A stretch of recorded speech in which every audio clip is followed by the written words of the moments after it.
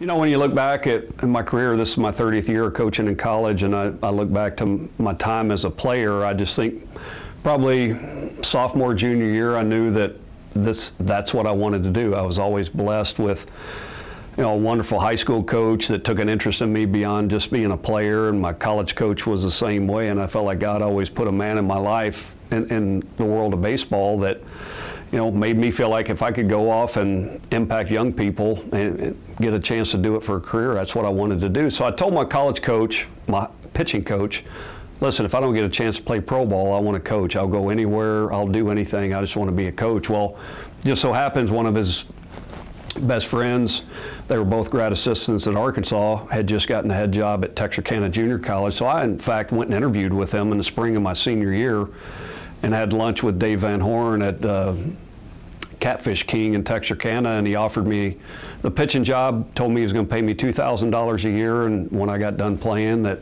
I could go to work. That's where it all started with, with Coach Van Horn. I worked at UPS in the mornings, loading trucks. Went and coached during the day and worked on a master's at night. And a few nights a week, I ended up waiting tables at a sports bar in Texarkana, but it wasn't work to me. It was what I wanted to do, and went on to Northwood University, back to my alma mater for a year and a half, back to Texarkana as a head coach, and then Dave got the head job at Northwestern State in Louisiana.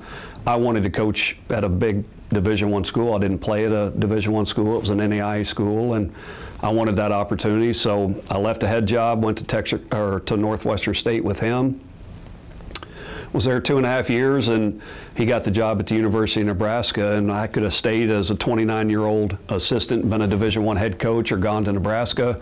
I chose to go there, and it was a place that had national name recognition at the time. The football program had just won back-to-back national championships, and a place where if you don't get it done, it, it's your own fault. So roll the dice. We both didn't know how to drive in the snow, and you know just headed that way, and you know we got things rolling maybe faster than we even knew that we could. And went to Omaha three of the last five years that we were there, and it's a place I could have been at for a long time, but I wanted to be a head coach. I wanted to be at a place that was close to my family, and that narrows it down. And you know, after our run in 2005, I got a call from the athletic director at Texas A&M, and you know, the rest was history. I think my wife accepted the job here before I did. And you couldn't put a pin any more in the middle of my family who's in East Texas and her family who is south of Houston than College Station. And we're at a place that year in, year out, has a chance to go to Omaha and win a national championship, and we're close to family, and it just doesn't get any better than that. I mean,